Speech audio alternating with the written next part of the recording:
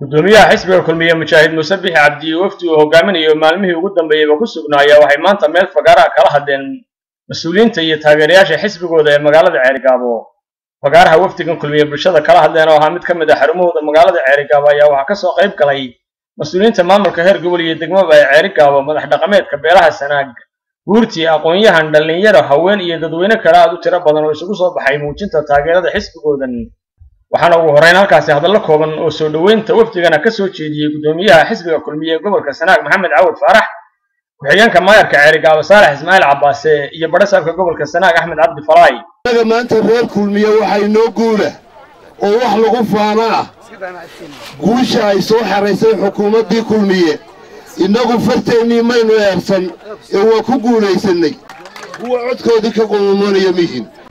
Dadweynaha reer kulmiye taageerayaasha halkan taagan inta joogtiyo in muqanba war soo diyaaruma nihin shaltooda sanada dambeeyenugu xillo soo diyaaruma nihin waxaa laydinka doonayaa horta marka hore idinkoo kulmiyaa inaynu reer sanaag oo midaysan aabbar walba ku xisaabtataan haddii ilahay ka dhigo kulmiyana dee marka horeba waa mideeye madax dhaqameedka xildhibaanada golaha deegaanka haweenka aqoon-yahanka iyo taageerayaasha kale qaarkood oo iyaguna halkaasi ka hadlay ayaa xukuumadda iyo xisbi xaakimkeeda waxay ku ammaaneen wax ka qabadka horumarka dalka waxayna soo dhoweeyeen wafdigan ka socda xisbiga. Sidoo kalena waxay sheegeen inay taageeradooda omug iyo miisaanba le diyaar ula xisbiga kulmiye iyo madaxweyne siilaanyo cadceed kulul baynu joognaa wax badan baan maanta ka sheekayn lahaa laakiin waxaan leeyahay mar haddaannu reer ceergaaban nahay waxaana la yidhaahdaa beel sanaag guud ahaan waxaannu taageeraynaa wax allaale iyo wixii horumarka ka shaqeeya wax allaale iyo wixii wanaagga ka shaqeeya. Wax allaale iyo wixii iskuduubada ka shaqeeya. Wax allaale iyo wixii muwaadinada ka shaqeeya. Waanu taageeraynaa wasalaamu calaykum waraxmatullahi wabarakaatu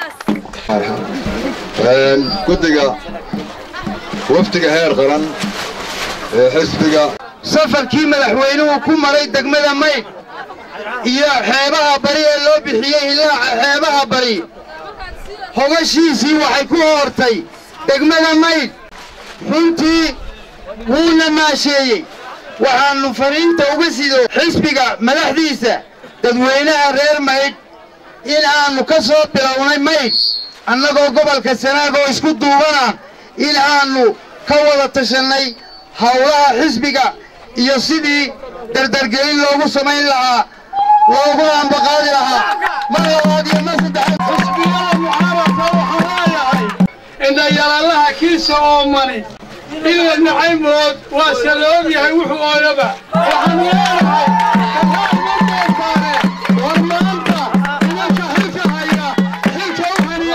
waxqabadka xisbiga kulmiye cadceedda haddii gacmaha loo dhigo miyay qarisaa waxa weeye waxqabadkood waxa qarin karaa ma jiraan.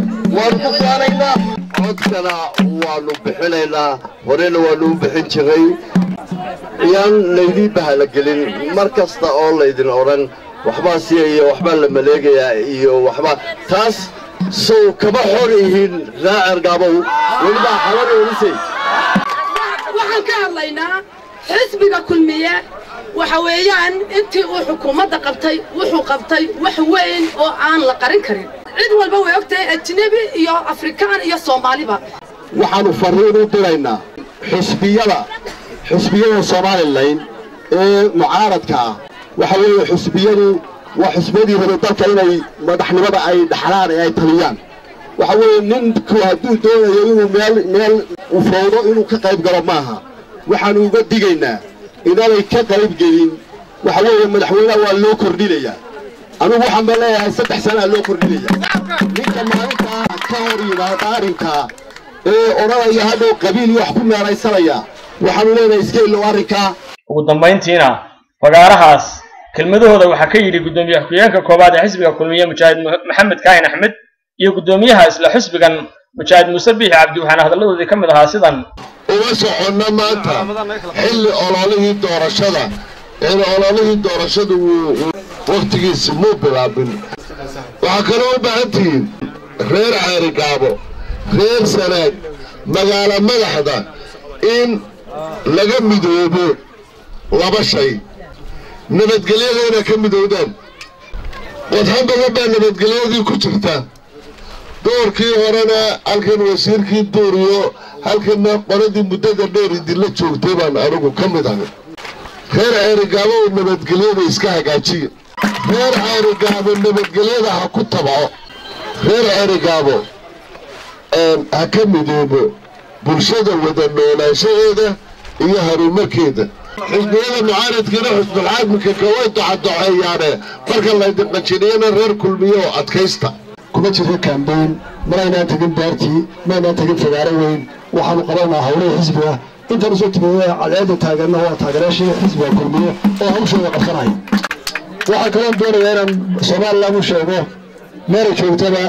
Haddii doorashada saa la sheegay ay qadar wakhtiga dib u dhacayso inaan wax dhibaato iyo dalkan ku imanan iyo wax xisaabgarowaayo waa laba sababood. Waa marka hore waxaanu nahay qaran leh distoor iyo shuruuc ay ku maamulaan dhibaatooyinka yimaada waa mar labaadka waxaanu ku kalsoonahay madaxda iyo taageerayaasha xisbiyada mucaaradka ee u cediya wadani inay yihiin mas'uuliyiin.